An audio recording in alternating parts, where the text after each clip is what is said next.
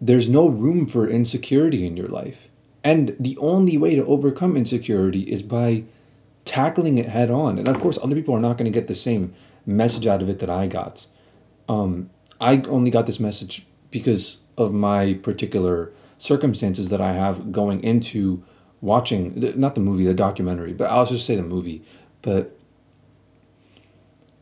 in in any field, in any field where where there is success to be had, there's no option to run away from your insecurities. You can't stay behind the scenes. Is what I'm trying to say. Is what I'm trying to say. Like in the in the example of like uh, pimps up, ho's down, or any industry really, right? From from people who are not deep in that game, they look at it from the outside and they always see two sides of the of, of the industry, which is the streets and like the head honchos that run the streets, right? The top dogs, the pimps, basically. And from the outside looking in to any industry in the world, that's what the normies, that's what the mainstream audience always sees. They don't see all the other layers. They only see these two layers. And, you know, you go to any random white dude in the suburbs and you show them what, what goes on in the streets um, in Atlanta or whatever, like where I live. And first of all, he's never seen anything like it. It's a whole different world. And that in itself is also a factor because when he starts to see the other layers, at first he'll see only those two layers the streets and the people who run the streets. But when he starts to dig deeper, he'll notice that before diving deep into it, it was completely invisible, the whole world. And the vast majority of the time you're spending trying to grow, you will only see these two layers of every industry. And if you enter the industry, you'll see three.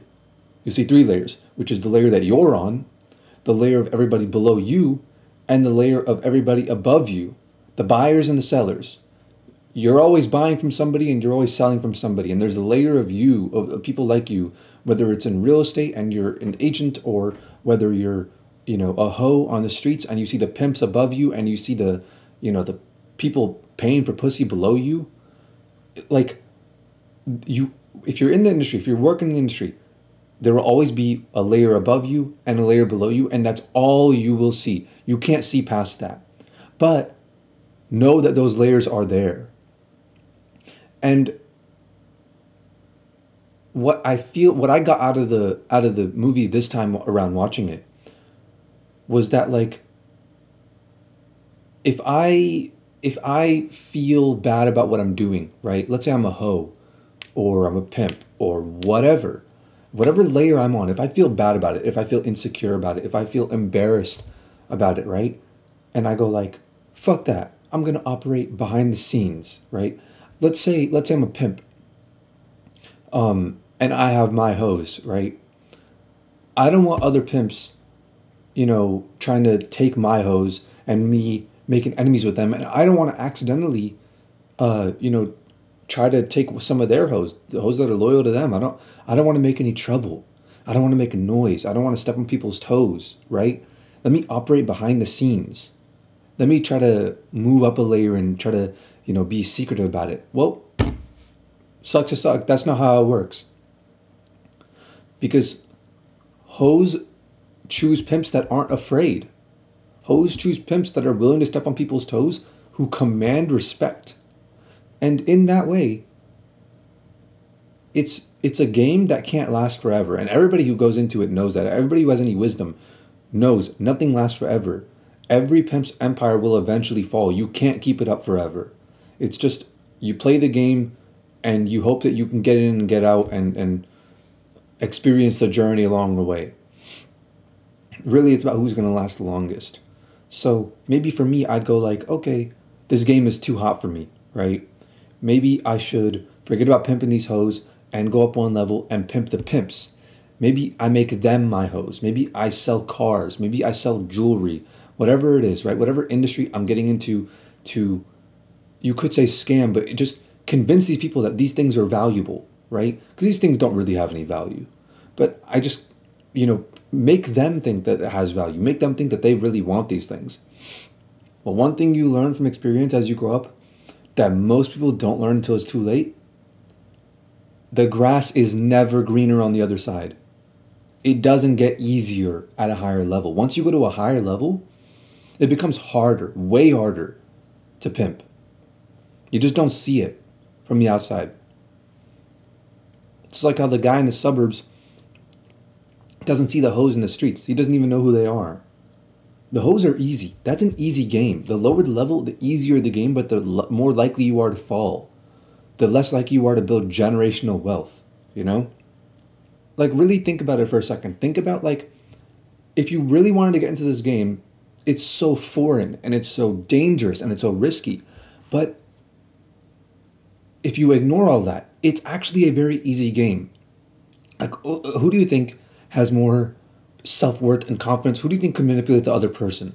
Okay, the guy who was like raised by a single mother, who dropped out of high school, uneducated, who managed to go from being broke to making millions through I don't know trapping or whatever he ends up doing, and he's respected by his peers, and he has people who are willing to die for him someone who has like built an empire through their hard work and skills alone having the worst hand dealt to them by life.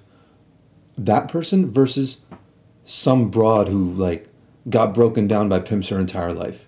And now she just seeks validation from anyone and will fuck anything that moves and just wants someone to look after and keep her safe. She asks for permission just to seek validation from petty sources. Think about that. Who has more self worth? Which one of those people, if you put them in the same room, is going to be able to successfully manipulate the other person? Who's going to be harder to pimp? So, you don't realize it. You think it's difficult, but you have no idea how easy it is. And you don't realize it, but when it's just dangerous, it's just high risk. When you get to a higher level, yeah, it's lower risk. You want to, you know, play within the law. You want to sell fashion or cars or or you know weed or whatever right legally and, and these kinds of things. You want to get into the like game of stocks and things like that. You want to get into the higher levels the things that are like uh, uh, less risky. But you won't realize it until you're in there. The guys that you're competing with make the, the previous pimps look like hoes. Think about it logically. How could that possibly be any less difficult? And anyone on that level, on that level, plus one level below, plus one level above, will know about you. And at that point, you may be invisible to the hoes. The hoes may not know, you know, who the fuck the the executives at the, this advertising agency might be, right? But the pimps, the pimps know who the fuck you are the people one level below you that you're pimping, that, that are your hoes, and the people that are one level above you that are pimping you, they all know about you. And you may be invisible to the people on the streets. Um, you may not be causing any problems there. You may be invisible to the cops trying to stop this business. But there's going to be a new set of people, not the police, but people way, way more dangerous trying to take you down. And so the moral of the story is that either you make yourself visible to and demand respect from the people, you know, a level below you and on your level and above you, or fail. That's all there is to it. And the other pimps will take your hoes if you if you don't make that happen. That's how this works. Everyone in this world is either a pimp or a hoe. And uh, if you want to work your way up the levels, it's the complete opposite of what you might think. It's not about, oh, I'm going to go behind the scenes and play it safe and have it easier going to these higher levels. No, it's not safer. It's not easier going to the higher levels. There is no running away from uh, putting your face out there. You have to put yourself out there. People are going to know who you are. If you want to interact with the world, people are going to know who you are. You're going to step on people's toes. And you can't prevent your empire from falling always. Nothing will ever last forever. And by by pursuing this path of least resistance, by pursuing this path of I want it easier, you're going to enter a field that's significantly more difficult. Everyone talks about how brutal it is on the streets. Dude, you have no fucking idea how cutthroat the music industry is. The fact that you guys don't even know how many murders go on in the music industry, how how how like fucked up it actually is, is actually proof that it's so fucked up that they're able to keep it under wraps. That they're able to successfully do that despite how many people are in the industry. It's like a real conspiracy. That's that's just how this works. That's how the game works. That's how the world works. That's that's the truth of the world. It's pimps up, hoes down.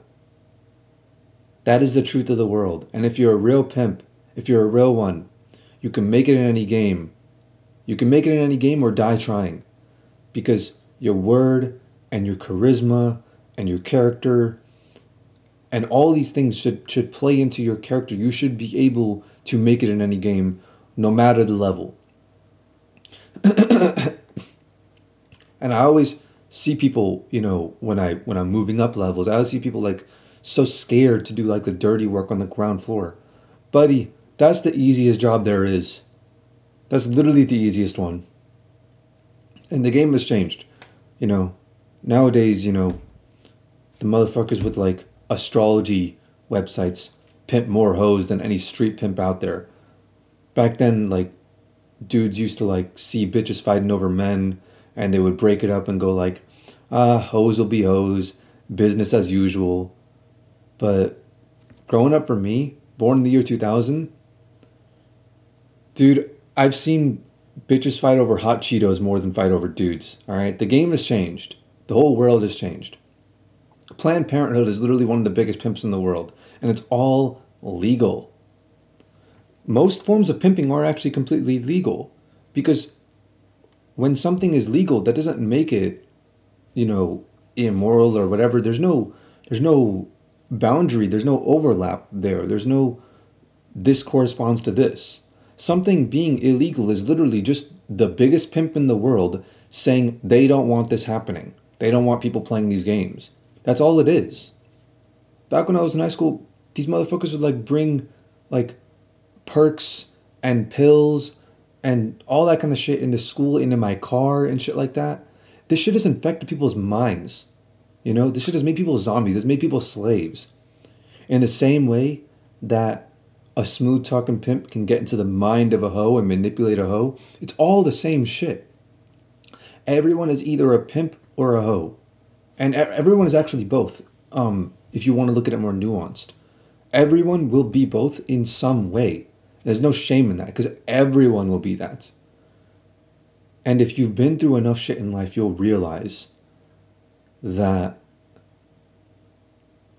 if you want to take it a step further, everyone on planet Earth is a hoe, but only a few people will ever be able to rise through the ranks and become a pimp at some point in their life and also that nothing lasts forever. These are the morals of the story. Because in the end, it all falls down. There's no difference between, you know, the pimp game you think about when you hear the words pimp game and the fucking pharmaceutical industry and shit, you know? The only difference is like and and all these industries, they're all the same. The oil industry, the food, uh video games, like literally they're all like this. The only differences between all of these like morally right versus morally wrong industries, the only differences is that the pimps running the ones that people consider to be morally right are just better at convincing the whole world that they're morally right. That's literally the only difference. The only difference is that they won, is that they beat the other games. They took their money, they took their business. That's all there is to it. And the masses are so stupid when combined that they base whatever they consider right and wrong by listening to whoever slaughtered everyone else call them wrong. You know, being a doctor and a lawyer and all that shit and sports and entertainment and politics and religion, it's all the same. It's all the same game. It's all pimps up, hoes down. Some people hate the players, some people hate the game. Personally, I don't see the difference. And over time, I've learned to love the players and love the game. And I'll never forget like what I learned from Pimps Up Ho's Down. I think it's so valuable, and I think if I watch it again, I'd learn whole new different lessons if I were to watch it in a different time in my life. If I watch it five years from now, I'd learn something totally different that I never got out of it the first two times I watched it. It's a brilliant, brilliant movie, and it's like a it's a documentary, and it's a deep insight into the lives of people who are really out here doing shit, making shit happen in this high risk, high reward situation. Because what other choice did they have? Every every experience in their life led them to those points, to do those things. For someone to say, "Oh, you're wrong for doing this,"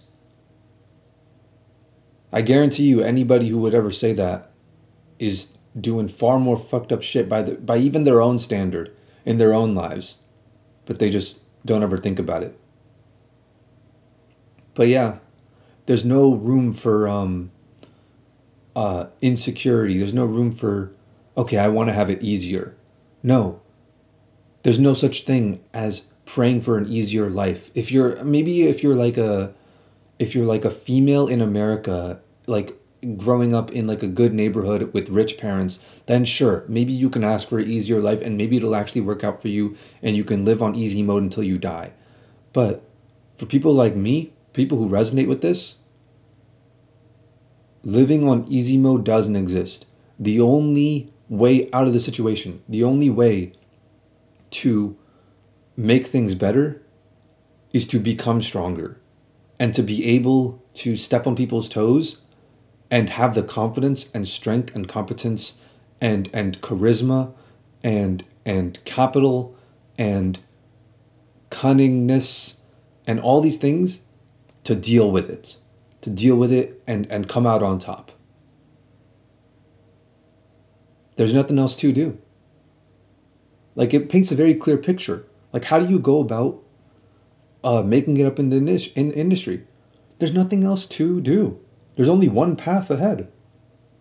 Like, what else is, why, why distract yourself with all this other bullshit, going out partying, doing all this other shit? There's only one thing to do. You want to make it up?